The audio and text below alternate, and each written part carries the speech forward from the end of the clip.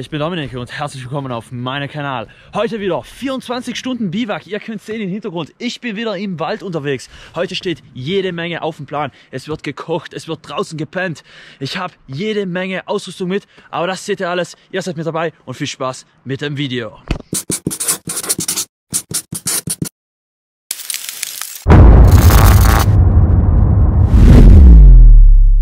Wie ihr sehen könnt, hat es in den letzten Tagen hier geschneit. Also es ist schon überall Schnee, nicht viel, aber es ist Schnee. Das heißt, heute Nacht wird es richtig kalt. Wir kommen auf den 0 Grad, vielleicht schon minus 1, minus 2 Grad. Ich weiß es noch nicht so genau. Aber auf jeden Fall, dass es kalt wird, das steht auf jeden Fall fest. Aber ich bin auch dementsprechend ausgerüstet. Jetzt suche ich mir noch irgendwo hier im Wald einen schönen Schlafspot, gerade eben, damit ich meinen Darb aufbauen kann. Und dann können wir endlich ein Feuer anschmeißen und uns wärmen. So, mein Lagerplatz habe ich gefunden.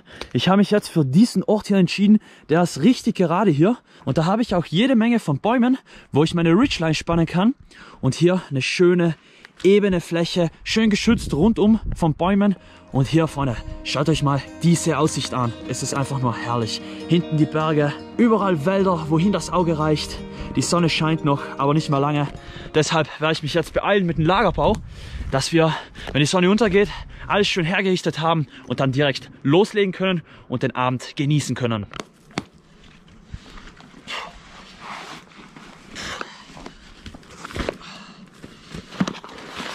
Ich habe jede Menge zu essen mit. Wir werden uns später was richtig Feines köcheln, aber das seht ihr dann danach. Aber jetzt erstmal Lageraufbau. Als erstes werde ich mal den ganzen Boden hier freiräumen vor diesem ganzen Geröll, dass wir auch schön gerade und weich schlafen können.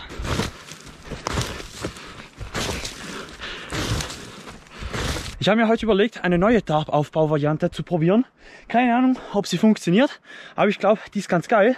So ein Schrägdach, weil ich möchte halt morgens diesen geilen Ausblick hier haben. Da bringt mir nichts ein A-Frame, wo ich danach nicht sehen kann. Es soll heute auch schön trocken bleiben. Es wird sicherlich nicht schneiden oder regnen. Deshalb eignet sich ein Schrägdach einfach perfekt. So, ich habe mir gedacht, ich lege drunter nochmal meinen Poncho aus, um halt vor Feuchtigkeit wirklich maximal geschützt zu sein. Und dafür eignet sich mein Bundeswehr-Poncho einfach nur perfekt dafür. Ja, der Geruch von denen ballert auch wieder richtig rein. Boah, stinkt das, Freunde. Aber lieber ein bisschen Gestank und dafür vor Nässe und Feuchtigkeit geschützt. Ja, den Dreck brauchen wir nicht. So, die Kapuze lassen wir einfach so.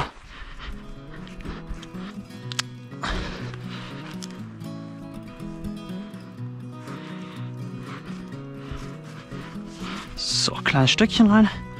Da müsste das hier halten. So, hier auf dieser Seite vom Tab habe ich das wieder gemacht, hier mit dem Stöckchen einen reingetan, dass ich das nicht lösen kann. Auf dieser Seite eben auch, wie ihr schon gesehen habt. Und auf dieser Seite habe ich hier einen Knoten gemacht, wo man das Ganze regulieren kann, um eben schön aufzuspannen. Und jetzt kann man hier quasi wirklich schon fast Gitarre spielen. Also das ist schon richtig auf Spannung hier. Jetzt geht es weiter mit den restlichen Ösen am Tarp und die werden jetzt im Boden mit Heringen befestigt.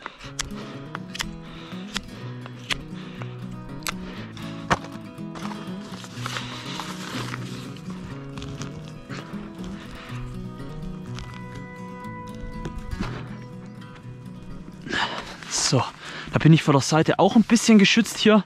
Es ist eben so schräg aufgebaut und auf der anderen Seite passiert dann nochmal dasselbe.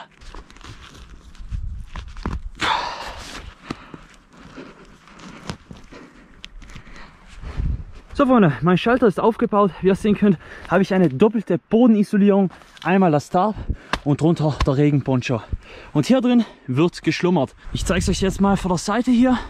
Also hier ist genug Platz für mich. Und an den Enden, seht ihr, geht mein Dach noch ein bisschen so raus, was optimal ist, denn hier kann ich zum Beispiel meinen Rucksack reinpacken oder sonstige Ausrüstung, was nicht unbedingt draußen sein muss. Hinten an den Ecken überall noch mit solchen provisorisch ganz einfach gehaltenen Heringe abgespannt.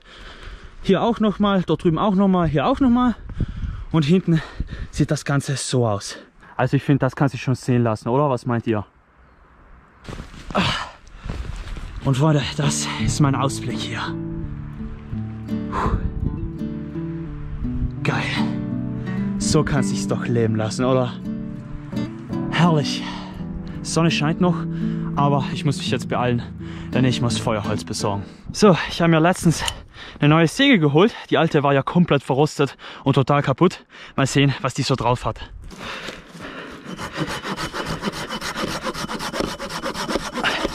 Also Freunde, diese kleine Säge, die geht ja richtig ab hier.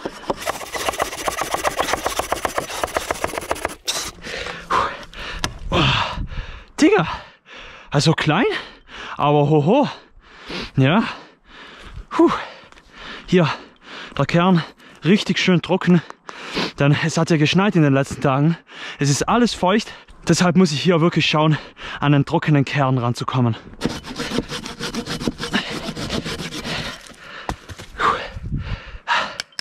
Perfekt. Schönes Feuerholz.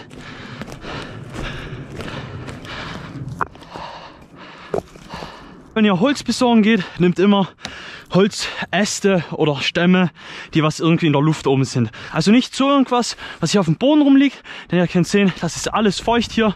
Nehmt immer schön Holz, was irgendwo oben in der Luft ist. Das ist immer schön trocken, unten, aber auch oben. Perfekt. Auch der wieder furztrocken innen drin. Geil. So, natürlich brauchen wir heute meine nagelneue Pushbox. Habe ich mir erst vor kurzem geholt und möchte die heute unbedingt mal austesten und auf der auch kochen. So lang.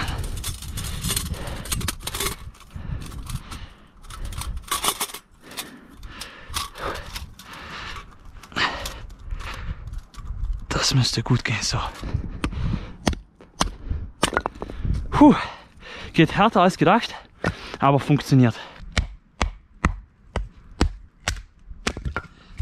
Wenn man jetzt einen Stein als Untergrund nimmt, wie ich jetzt hier, dann muss man wirklich beim Betonen aufpassen, dass man nicht zu fest runterschlägt und die Klinge unten am Stein aufkommt. Denn da ist die Schärfe wirklich auf einen Moment auf den anderen weg. Deshalb immer schön mit Gefühl, dann funktioniert das auch.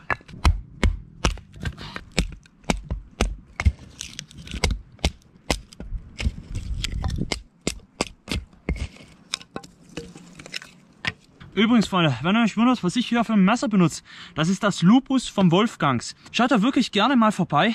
Der Link zur Webseite ist in meiner Infobox und dazu auch mein Rabattcode Telser 10, mit dem könnt ihr nochmal aufs gesamte Sortiment 10% sparen. Also ich würde sagen, schaut wirklich mal bei Wolfgangs vorbei. Diese Messer sind wirklich 1A. Ihr seht es ja selbst. Ich kann ja wirklich richtige Brocken durchteilen mit diesem Messer. Also schaut gerne mal vorbei. Das schadet wirklich nicht. Viel Spaß.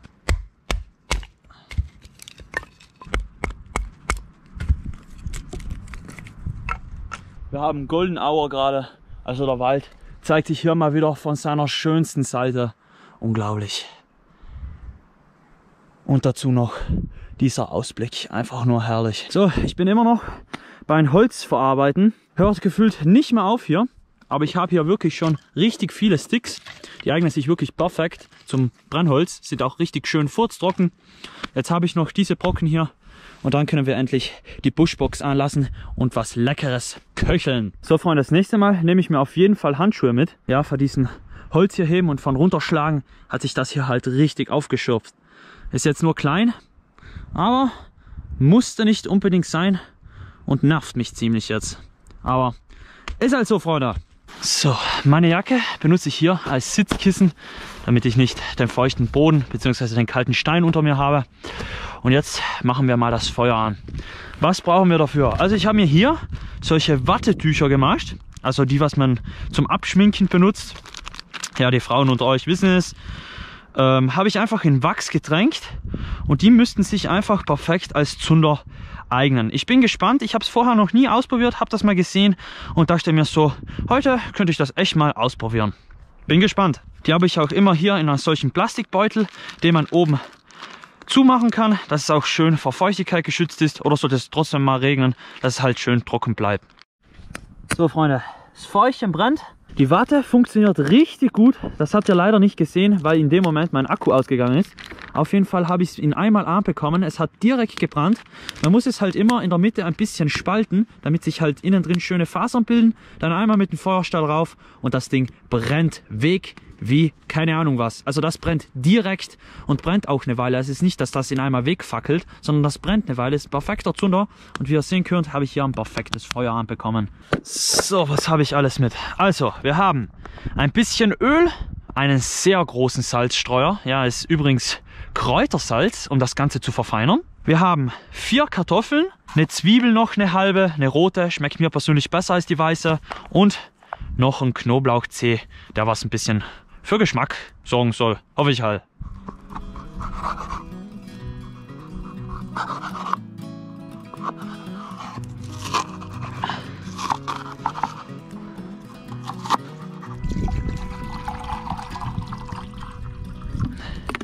Die haben gerade so Platz, aber das müsste schon passen. Jetzt muss ich nur schauen, dass ich irgendwie diese Riemen hier rauf bekomme, ohne mich zu verbrennen. Ist der überhaupt drin? Ich check. Ah. Okay. Das muss ich das nächste Mal ein bisschen anders machen. Ah. Ah. Digga, wie soll ich denn hier rankommen? Ah. Scheiße. Oh. Puh. Freunde, ist das richtig so? Ich check's gerade gar nicht. Ja, ja. Wird schon passen. Auf jeden Fall. Hier werden jetzt mal die Kartoffelchen gekocht. So, die lasse ich jetzt 10 Minuten oder Viertelstunde kochen. Dann kommen sie runter, werden geschält, geschnitten und zusammen mit den Zwiebeln und den Speck in der Pfanne drin geröstet. So, während die Kartoffeln noch kochen, habe ich mir gedacht, baue ich frisch meinen Schlafplatz komplett fertig auf. Also sprich, ich habe heute mit meinem Biwaksack, Isomatte, hier noch ein Kissen Mega geiles Teil, habe ich von einer alten Luftmatratze runtergeschnitten und habe jetzt wirklich ein sehr großes Kissen, was ich immer aufpusten kann und am Ende immer schön klein und minimalistisch zusammenfalten kann. Also wirklich ein geiles Teil. Das kann wirklich jeder von euch ganz simpel nachmachen. Sehr geile Idee auf jeden Fall. Als erstes legen wir mal unseren Biwaksack aus hier, in dem wir heute drin nächtigen. Ist übrigens auch von der Bundeswehr. Also wie ihr sehen könnt, habe ich ziemlich viel militärische Ausrüstung. Es wird in Zukunft auch mal ein Video geben, wo ich wirklich nur mit militärischer Ausrüstung unterwegs bin. Darauf freue ich mich ganz besonders. Jetzt kommt noch die Isomatte rein. Und rein in den Sack. Irgendwie will er nicht hineingehen. Hallo. Wo hängt denn dieser Scheiß hier?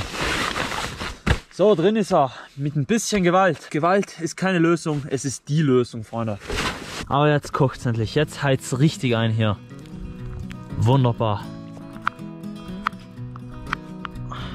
Voilà. Bisschen Öl in die Pfanne. So, wir wollen es ja ein bisschen fettig haben, nicht? Freunde, fühlt ihr das auch so wie ich? Ich fühle es einfach nur mega gerade. Das ist Outdoor, Freunde draußen köcheln bei offenem Feuer. Einfach nur grandios. Man gebe die Zwiebel direkt nach.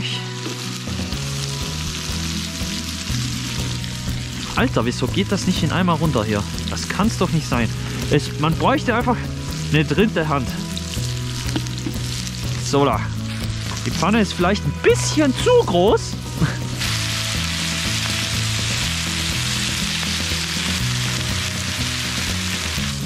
Oh, feinste Aromen hier.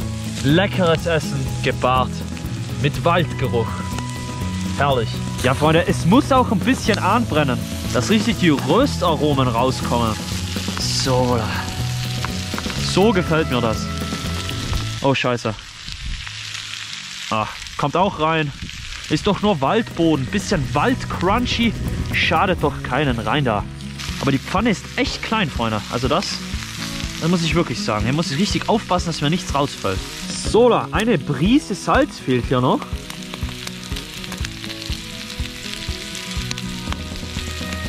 Muss ja schön würzig sein hier. Vor lauter Labern habe ich das Salzen vergessen. So, das reicht. Schaut es euch an, Freunde. Herrlich. So, ich würde sagen, das Essen ist fertig und somit wünsche ich euch guten Appetit. Beziehungsweise ich wünsche mir guten Appetit. Ich esse natürlich aus der Pfanne heraus, ist ja klar. Mal probieren. Mmh. Mmh. Freunde, das ist einfach nur herrlich. Wollt ihr auch mal probieren? Mmh. Mund auf. Boah, geil. Wir haben ein bisschen Waldquansche in meinem Mund drin. So Freunde, das Essen wurde verspeist. Mein Bäuchlein ist jetzt richtig schön satt. Hat richtig gut getan, was warmes jetzt. Besonders jetzt bei dieser Kälte, ihr seht selbst. Aber ich würde sagen, ich genieße jetzt noch die letzten Stunden beim Feuer hier, wärme mich noch ein bisschen. Also hier hinten haben wir noch jede Menge Feuerholz, was noch verbrannt werden muss. Deshalb kann ich davon ausgehen, dass ich hier noch eine Weile verbringen werde.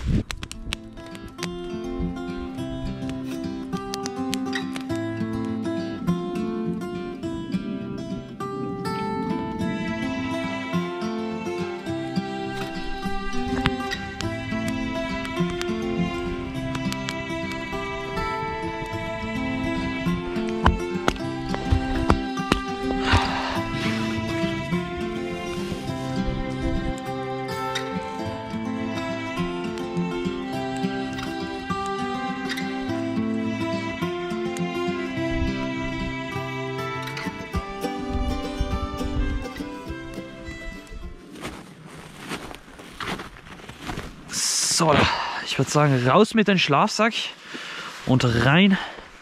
Boah, ist da kalt. Und rein in den Biwaksack. Heute Carinthia Defense 4 wieder. Ich hoffe, für die Temperaturen reicht er. Denn ansonsten bin ich hier am Arsch. Ja. Aber das wird schon gehen. Was einen nicht umbringt, macht einen nur stärker. Um den Rucksack ein bisschen zu schützen, packe ich hier nochmal Raincover drüber dass er nicht vor der Bodenfeuchtigkeit klitschnass wird. Und den packe ich einfach hier neben meinen Kopf hin. Da bin ich da auch noch mal ein bisschen geschützt. Mein Schlafplatz für heute Nacht, Freunde. Ich freue mich schon auf die eisige Nacht. Die Schuhe packe ich einfach im Biwaksack hinein. Denn ansonsten sind die morgen eiskalt. Beziehungsweise vielleicht auch nass vom ganzen Tau. Deshalb kommen die schön mit mir in den Biwaksack hinein. So, der ganze Dreck auf mir hinauf, perfekt. Ziemlich eng die ganze Konstruktion hier, aber ich merke, wie sich die Wärme drin speichert. Von daher ist schon mal top. So Freunde, ich liege jetzt im Schlafsack bzw. Biwaksack. Unten bei den Füßen habe ich eiskalt, also ich habe wirklich eiskalte Füße. Ich hoffe, die wärmen sich gleich auf. Und ich hoffe, wir sehen uns morgen früh wieder, Freunde. In dem Sinne, gute Nacht und bis morgen. So Freunde, ihr habt es gerade in der einen Aufnahme gesehen, wir haben es 1 Uhr und ich musste gerade aufstehen, weil ich pinkeln musste. Scheiße, Mann, ich hasse das. Also man schafft es wirklich nie, in den Schlafsack hineinzugehen und zu schlafen, ohne dass man nochmal muss aufstehen und pinkeln zu gehen. Also das ist, boah, ich hasse das. Es ist eiskalt und ich würde sagen, ab in den Schlafsack. So, wir haben 6.38 Uhr. So, man kann es an den Farben erkennen, die Sonne zeigt sich gleich. Ah, geil, ich freue mich schon.